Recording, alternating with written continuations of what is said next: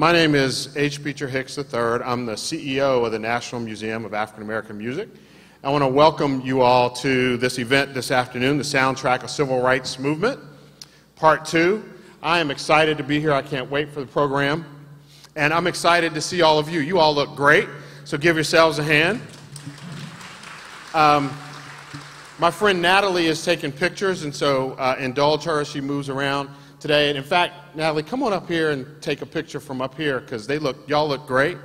Um, I'm going to introduce our moderator, but first I want to take, while Natalie's taking a couple of pictures, I want to tell you just a little bit about where the museum stands. What do, you, what do you all think about the idea of having the National Museum of African American Music at Fifth and Broadway? Well, we are excited about it too, and uh, in fact, I've got a couple of my board members, and one of them is Dr. Outlaw, but another is An- Anasa Troutman is here with us, uh, and she just moved to Nashville from Los Angeles, California. Anasa, w- wave your hand, and y'all welcome her later and show her some love. She's told me she was trying to hide in Nashville for the last couple of weeks she's been here, and I told her that was over today, so y'all help make that right. So we think that the construction for the museum is going to start as early as the first quarter of next year. So we're about six to eight months away from getting started. And then uh, we think the museum will open about two years after that. So that'll be about early 2018. And we are, of course, hard at work right now working on our curatorial work, uh, beginning, just beginning to gather artifacts and that sort of thing, completing work on the storyline so that we have a compelling and interesting national and even global story that we can tell about this great music, to include an awful lot about the Nashville story and its influence on American music. And so we're hard at work on that. And then, of course, we're doing programs like this. We do a lot of things uh, in the Nashville public school system, and we're beginning to branch out and look for ways to do those programs around the country already. Uh, and then, of course, we do events like this, which uh, certainly are the highlight of my week, and I hope that it is yours as well. And so, without further ado, I want to welcome Dr. Outlaw. Uh, not only is he my friend, mentor, and board member uh, at the museum, but he also is a professor at Vanderbilt, and he teaches about racial matters and socio-political life in the United States uh, and their legacy and practices in Europe and European American philosophy uh, in the examples of Martin Delany, W.E.B. Du Bois, Frederick Douglass, and Booker T. Washington, Ralph Ellison, and Toni Morrison, and others. So, in other words, the brother knows what he's talking about. So, he's going to uh, join us and moderate. And so, while he comes, please join me in thanking Vanderbilt University and TPAC for this partnership to deliver this program. Thank you, Dr. Outlaw.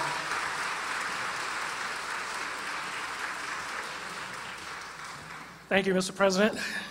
Good afternoon. Now, y'all got to respond like you're members of the Baptist Church, even if you're not. You know, good, good afternoon. Good afternoon. Oh, amen. Thank you. On behalf of Vanderbilt University, let me thank you for coming and welcome you to this program. And particularly, I want to thank our colleague, brothers and sisters from TPAC who've joined us in this endeavor, of this two part endeavor. And let me thank especially my colleague, friend, uh, good sister, Gail Williams. Gail, where are you? Wave somewhere, where are you? Who is the Associate Director of the Office of Community, Neighborhood, and Governmental Relations, and Gail is responsible for community engagement. So she's one of our you know, most stimulating partners in this project here. This is the second part of a two part series. As a number of scholars have helped us to understand, every generation has its soundtrack. Each of you, I'm sure, has those particular musical numbers that highlight particular moments and significant events in your life. Every social movement has its soundtrack. And part of what we're going to be witnessing and learning from today is about the soundtrack of some young folk in Curreview. Some years ago, I, working in another institution, I had an occasion to spend some time with and get to know a bit a man by the name of Gerald Levin. Gerald Levin was at that time the head of Time Warner and of Time Warner Music. And Gerald and Time Warner were getting a lot of criticism for the music that was being presented commercially by a lot of young African American rappers, from Cop Killer to et cetera, et cetera. So he was getting a lot of pressure to stop publishing these young musicians. Gerald said something in response that I've never forgotten that has become a lesson for me that I hope you will take up. He said, You know, we, and I think he meant largely white folk in particular, he said, We didn't listen to Malcolm X. Maybe this time we will listen to this young generation. There are young people who are creating music out of the experiences of their lives and doing it in some really astoundingly creative ways. Some of us of my generation, we don't want to listen because we're so busy looking at how low their pants are being worn, how big the girl's earrings are, or whether or not her midriff is covered when she's out in public. I get all of that, but there is the importance of listening to them. They are speaking to the world from the context of their experiences, their joys and sorrows, their pains and frustrations, their excitements, their notions of possibilities, some of which we don't pay attention to or quite witness. It is crucial then that we hear about and from the current generation. Things are happening in our country that we need to learn more about and to hear from those who are out and about in ways that sometimes we may criticize. But there's more to them than that. To lead us in hearing and learning for this program today is good brother Eric Dozier, about whom you can read in your program. Eric, take us on this learning lesson, please. All right, how y'all doing this afternoon or this? Yeah, it is afternoon now.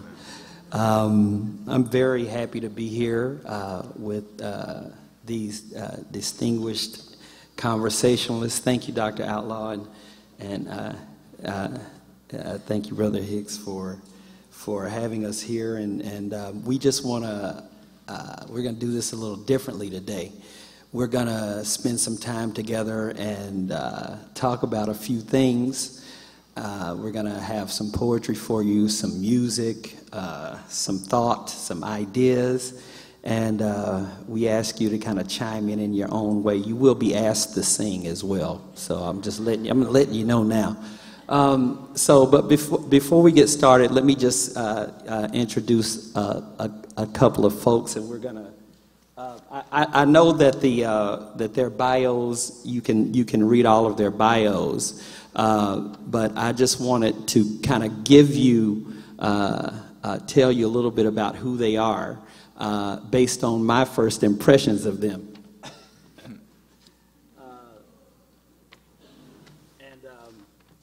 Because uh, I, I, you know, I tried to have, have a little conversation with them before uh, we we uh, we came up here together. Uh, had coffee with brother uh, uh, Rashad, the poet Rayford, and uh, you know he's a he's an artist, uh, a poet, and an activist, an actor as well. And and uh, his his day job, I guess, if you want to call it, is being a, a, a, mentor poet for the organization Southern Word that that helps young people develop and articulate. Uh, uh, uh, and present their voice around issues that are affecting their communities. So, Brother Rayford.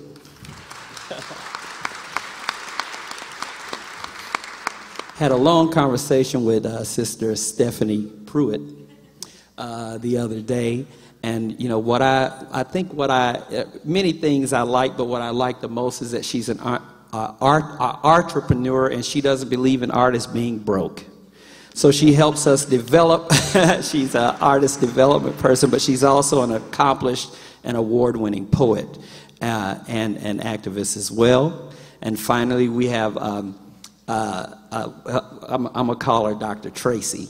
uh, uh, who has, has, has traveled extensively in, uh, in France and lived there and, uh, and written extensively, extensively about the presence of African American women uh, in Paris. Um, and so, uh, with that said, uh, I wanted uh, to play a little video to kind of give you context, uh, set the context for our discussion today.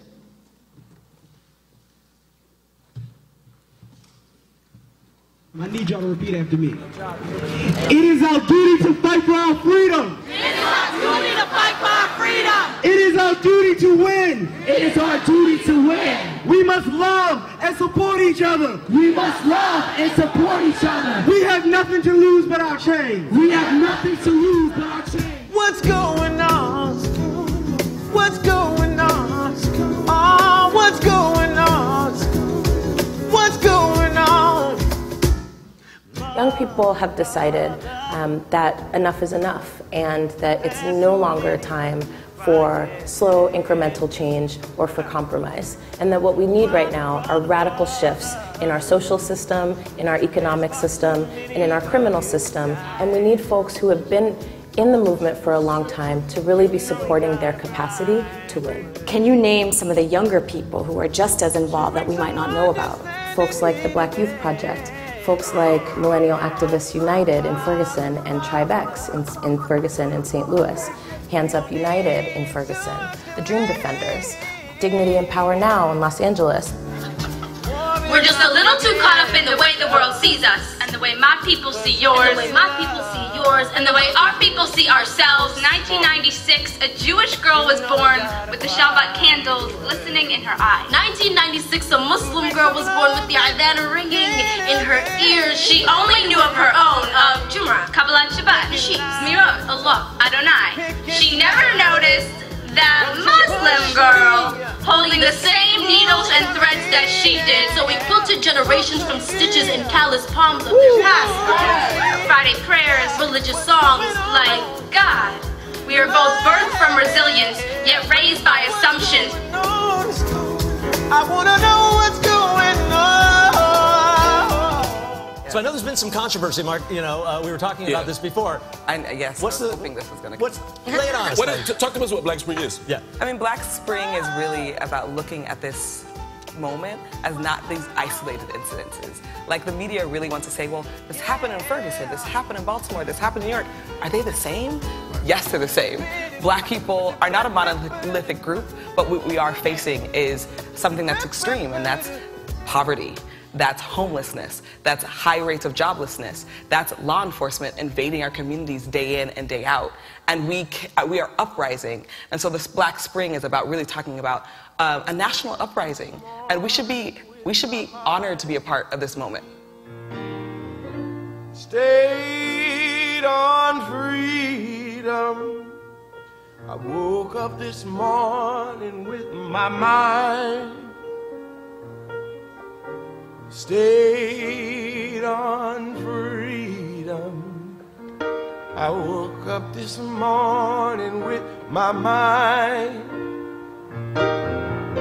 Stayed on freedom. Hallelujah. Hallelujah. Hallelujah. But even with all the battery and the abuse, we are still so beautiful.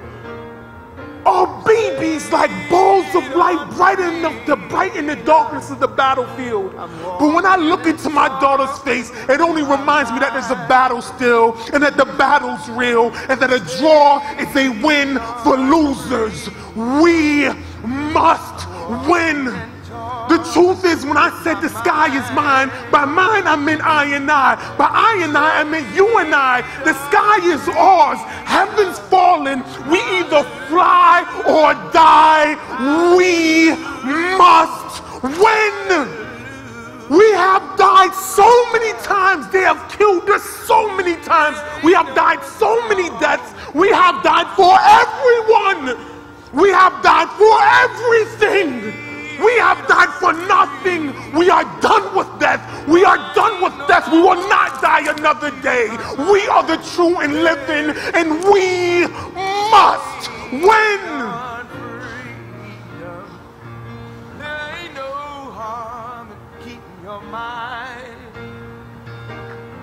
Stay on freedom.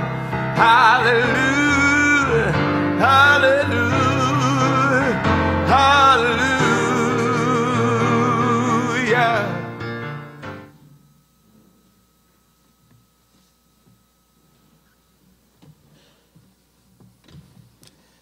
Howard Zinn was documenting uh, the Young People's Movement, the Student Nonviolent Coordinating Committee. And uh, I shared this at the last panel discussion, but I think this is a good tie in because what we want to talk about is uh, looking at uh, uh, the roots of this movement coming out of the civil rights movement of the 50s and 60s and kind of explore that for a moment. But this is what he says about the music because the music was so prevalent. He said it would be easy to romanticize them, but they are too young, too vulnerable, too humanly frail to fit the stereotype of heroes. They don't match the storybook martyrs who face death with silent stoicism. The young fellows sometimes cry out when they are beaten. The girls may weep when abused in prison, but most often, however, they sing. This was true of the farmer and labor movements in this country and of all the wars, but there has never been a singing movement like this one. Perhaps it is because most of them were brought up on the gospel songs and hymns of the Negro church in the South. Perhaps also because they are young, probably most of all because what they are doing inspires song. So, my first question that I would kind of want to throw out to our conversationalist is, uh, uh, you know, I'd like for us to kind of explore uh, the roots of this modern uh, civil rights movement um, and uh, kind of see if there is any tie-in to the civil rights movement of the 50s and 60s. See what any of your thoughts are around that.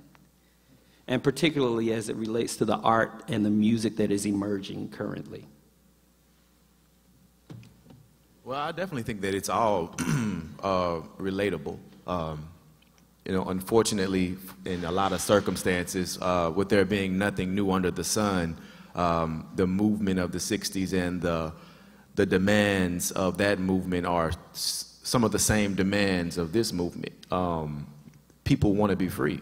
You know, people want to people want to walk around and live a life that they choose to live without fear um, fear of oppression, fear of death, um, and fear of um, a, a, struggle and a, and a, stranglehold on the mentality to be the person that God has called you to be. So I think some of the demands are, are definitely the same, and a lot of the the music that was taken from the 60s um, is being utilized uh, today, and, and the influence of of the movement of the 60s from James Brown. Um, even um, in today's music, Kendrick Lamar has a new song out called King Kunta, which is based on uh, some of James Brown's um, music. And so it's definitely being used in the, in the, the generation that's, that's um, coming about right now, they're definitely focused on freedom, right? And they're definitely focused on change. And I think for a long time there was this disconnect because we sheltered, you know,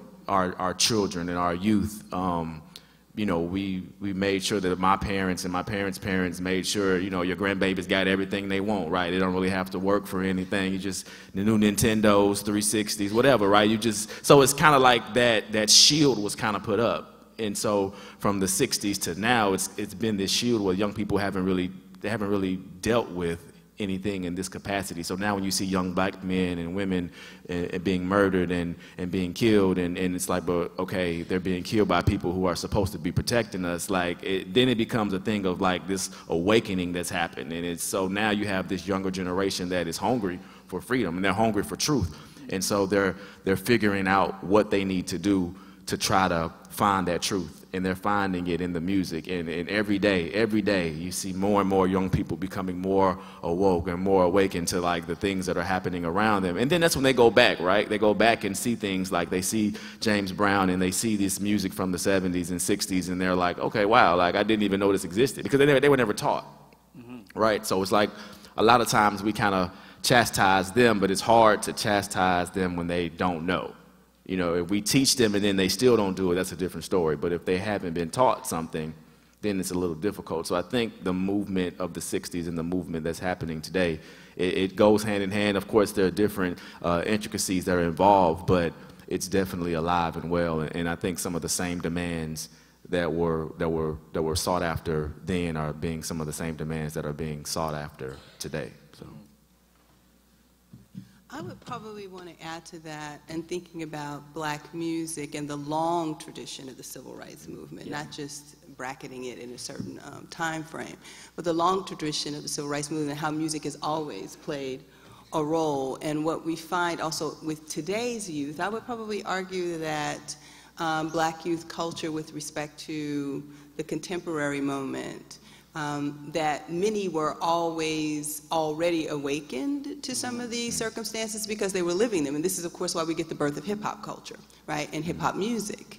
Um, and so there is, I think, what's, what we have to be very mindful of is how class cuts around, cuts across um, music, and class cuts across even people's experiences. And so there are, there, we can't argue that there's a segment that is certainly cut off from and shielded um, from some of those social realities, but out of um, the other segments, the larger segment of black and brown uh, communities, um, they were not necessarily cut off, and so that birthed what we know today as hip hop music, right? And so, and much of what is hip hop music is not necessarily what you hear on the radio, right? Um, uh, and so I think that's another thing where people cannot necessarily see that music as particularly revolutionary in certain ways when in fact it is, right? Uh, and it does speak to certain conditions that people are grappling with in their own communities, not um, Yeezy and Drake and them. I'm not talking about them. I'm talking about a whole host of other artists uh, who are speaking to those conditions, and certainly going back to the 70s um, when um, it, the music first really emerged nationally and took off internationally, right? And it began to impact. That's another thing that people don't necessarily recognize is the impact of even hip hop music in other spaces outside of the United States and how it has become a force uh, in global music, a force for radical change in certain communities, and, and particularly in places like um, France and Germany. And I was speaking just the other day about um, the ways in which we can argue that resistance movements don't shouldn't necessarily be co-opted, but in the context of the French, they have in fact co-opted. They have a minister of hip hop. Um, and so for them, uh, creating this kind of minister in hip hop is a way in which they can channel certain energies uh, and, and address certain um, social inequalities. But unfortunately, um, like in the United States, we still see these inequalities happening. And the verdict, you know, video that you'll see a little later, uh, has come down that the officers that were responsible um, in um, one of the that were responsible for giving, I guess, the spark to the uprising in France in 2005. I don't know if you all remember; it was all over the the television and the news about the uprising in France, um, and people were burning things, tearing up, and everything in, in um, response to uh, two children being um, essentially run into an electrical um, facility and, and being electrocuted. Those those officers were acquitted, and so, you know, so there's something to be said about what's going on today. Uh, across you know the pond as well as what's going on locally and the ways in which youth music is fueling some of those um, or at least is certainly giving a space for articulation of some of these crises And I think, in addition to expressing frustration, contemporarily, music has served as a source of empowerment for young people. Um, during a time where music was produced in large studios, you had to have, you know, a, a record deal and, you know, all of these other kind of barriers of entry into the entertainment and cultural creation world. With technology, we now see that young people are able to create the sound, the songs, the lyrics that they want from their bedrooms with the iPhone Mhm. and, and, and get this work out into the world. That act in itself is empowering.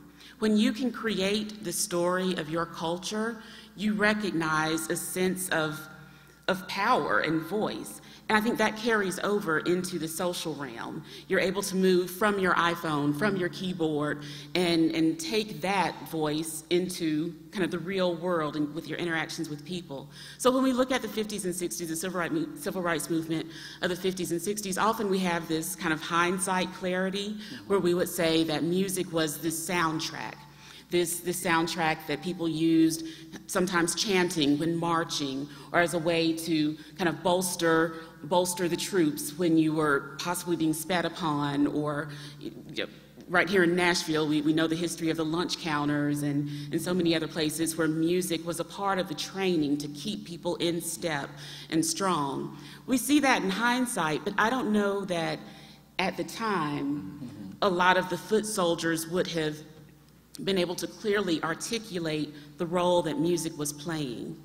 So similarly, right now, we, we see hip hop, we see jazz, we see a lot of underground, you know, music movements that we would initially say is just entertainment. We don't, we don't see all of the connections, but I think it's difficult to see the role of any given aspect of a movement when you're in the middle of it. Mm-hmm.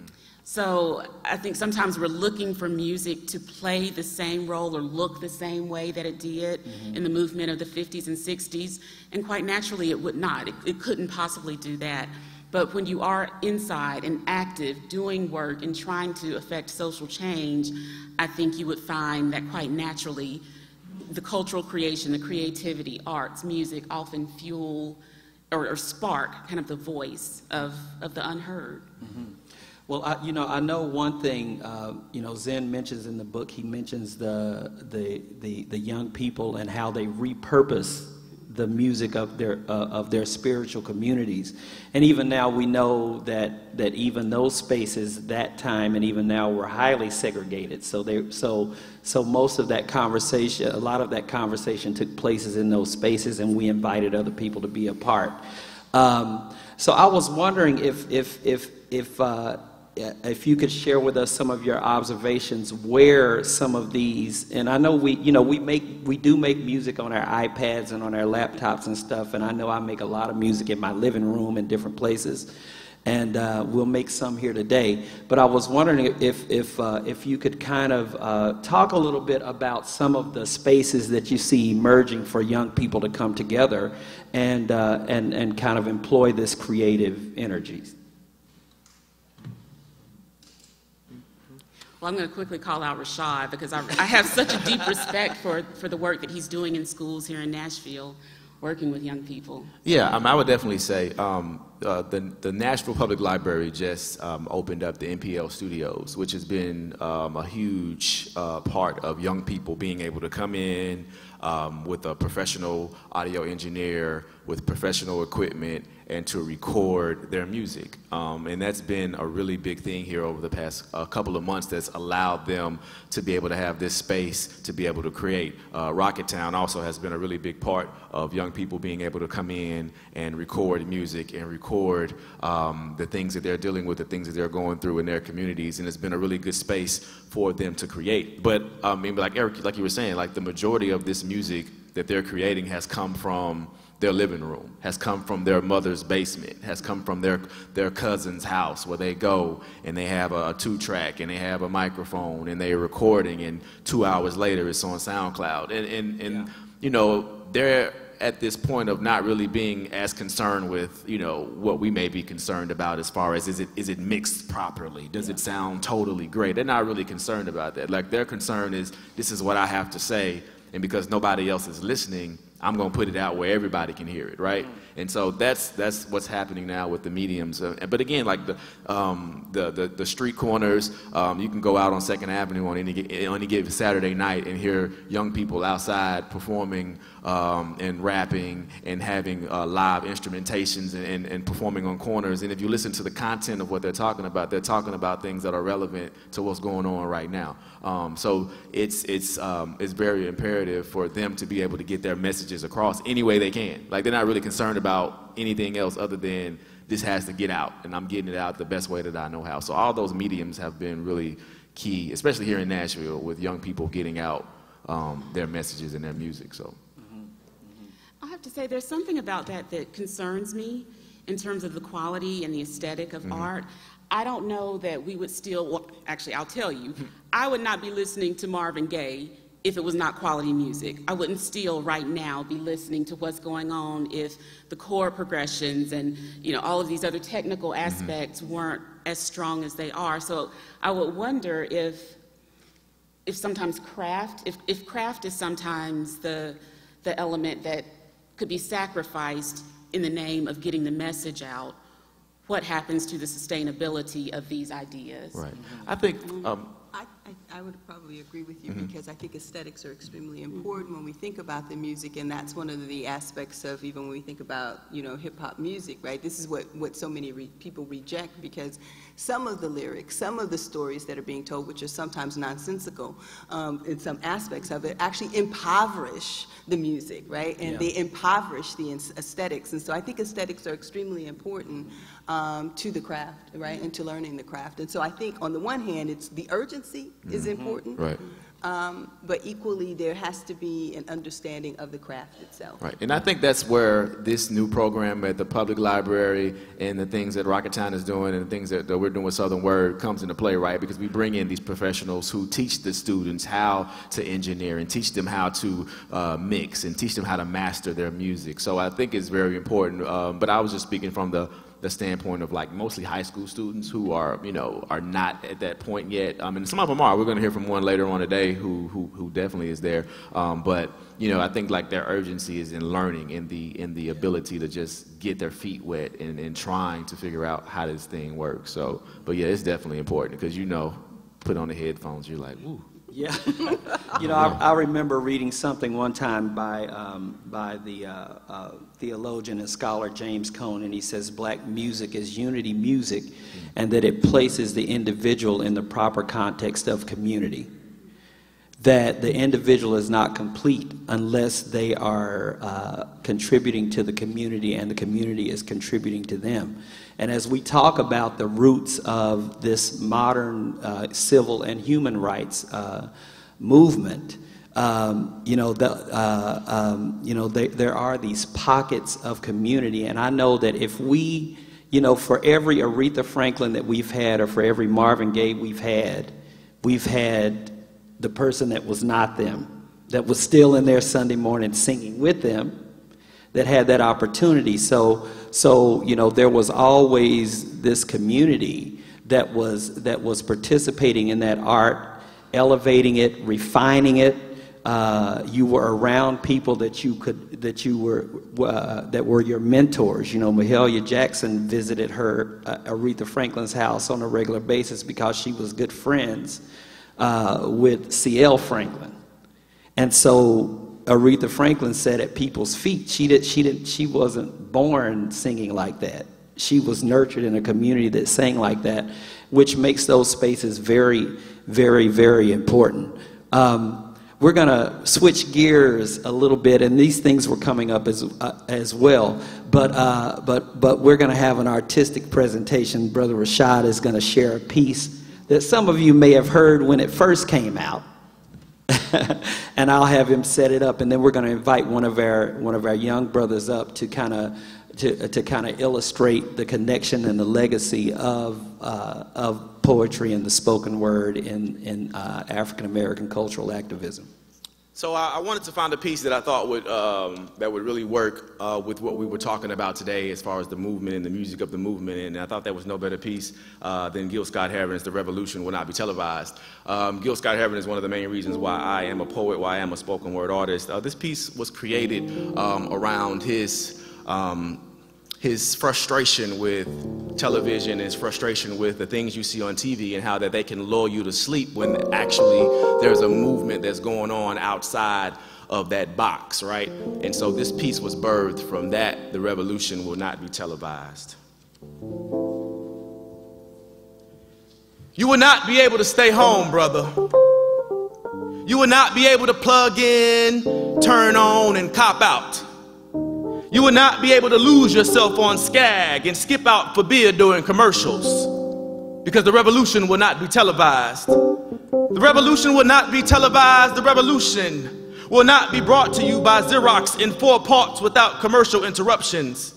The revolution will not show you pictures of Nixon blowing a bugle and leading a charge by John Mitchell, General Abrams, or Spiro Agnew to eat hog maws confiscated from a Harlem sanctuary. The revolution will not be televised. The revolution will not be brought to you by the Schaefer Award Theater and will not star Natalie Woods and Steve McQueen or Bullwinkle and Julia. The revolution will not give your mouth sex appeal. The revolution will not get rid of the nubs. The revolution will not make you look five pounds thinner because the revolution will not be televised, brother. There will be no pictures of you and Willie Mae pushing that shopping cart down the block on the dead run or trying to slide that color TV into a stolen ambulance. NBC will not be able to predict the winner at 8:32 or reports from the 29th district. The revolution will not be televised. There will be no pictures of pigs shooting down brothers on the instant replay. There will be no pictures of pigs shooting down brothers on the instant replay. There would be no pictures of Whitney Young being run out of Harlem on a rail with a brand new process. There would be no slow motion or still life of Roy Wilkins strolling through Watts in a red, black, and green liberation jumpsuit that he has been saving for just the proper occasion. The revolution will not be televised. Green Acres, the Beverly Hillbillies, and Hooterville Junction will no longer be so damn relevant, and women will not care if Dick finally got down with Jane on a search for tomorrow because black people will be in the streets looking for a brighter day. The revolution will not be televised. There will be no highlights on the 11 o'clock news. No pictures of hairy armed women liberationists and Jackie Onassis blowing her nose.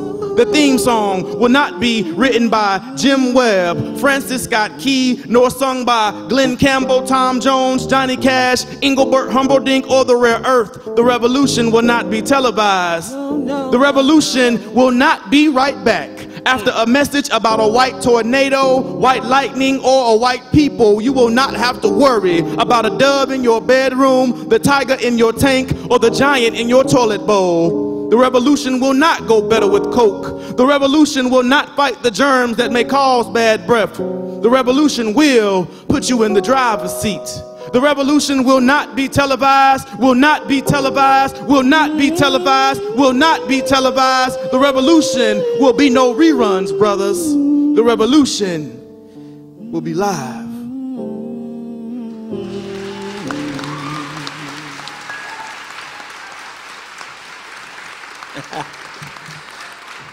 Well, with that said, you know, it's a, it's a, we, you know, we have a long legacy of, po- of, of poetry and, and, and, and things of that nature in our, in our culture. A lot of times we do look at these things as if they popped up out of nowhere. Um, and so uh, we're going to have uh, a, a, another extension of that legacy. This young brother, Black Sun, has represented Nashville on the world stage at Brave New Voices. Uh, he's an award winning poet, and uh, y'all need to give that brother a hand.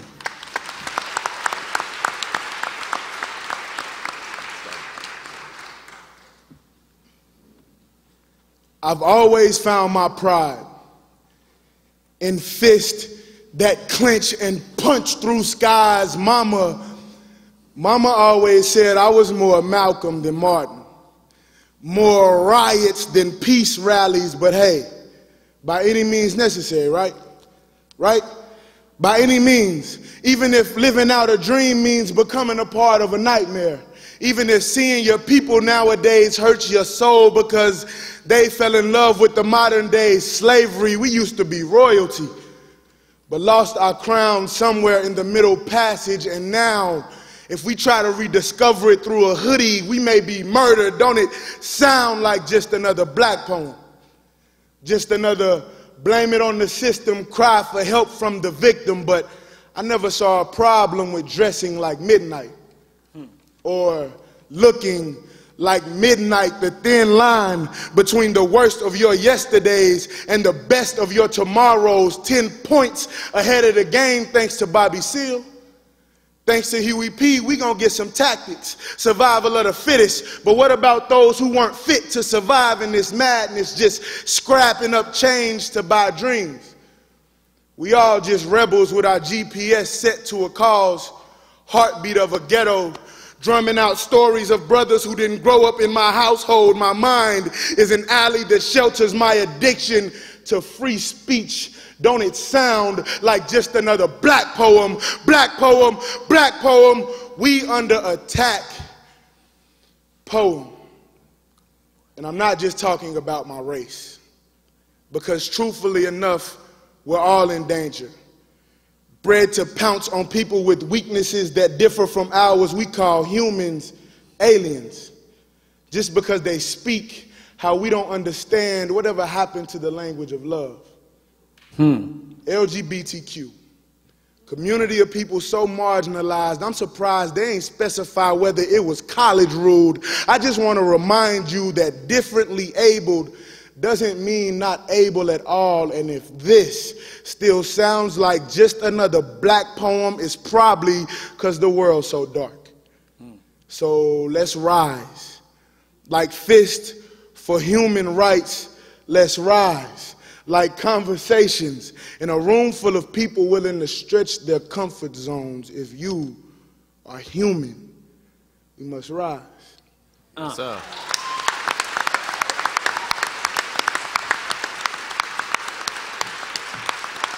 Thank you so much, brother.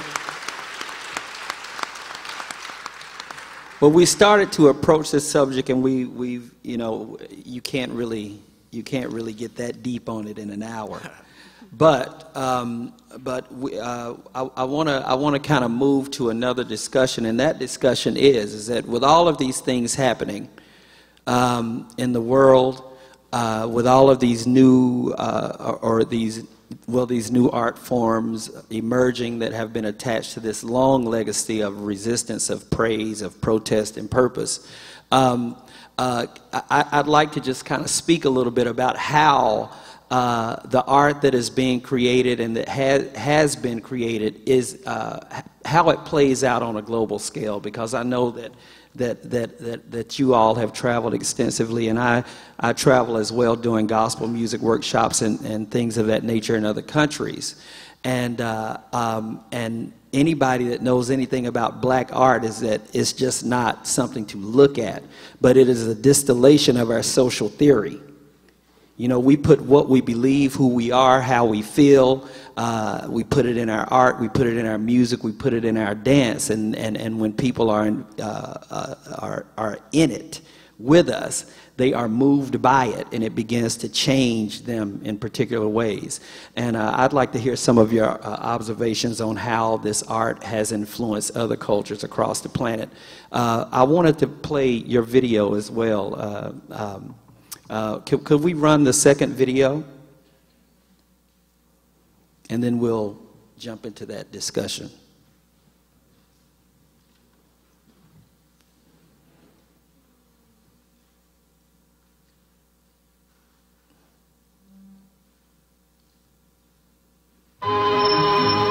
This is the Paris the French government wants the world to see.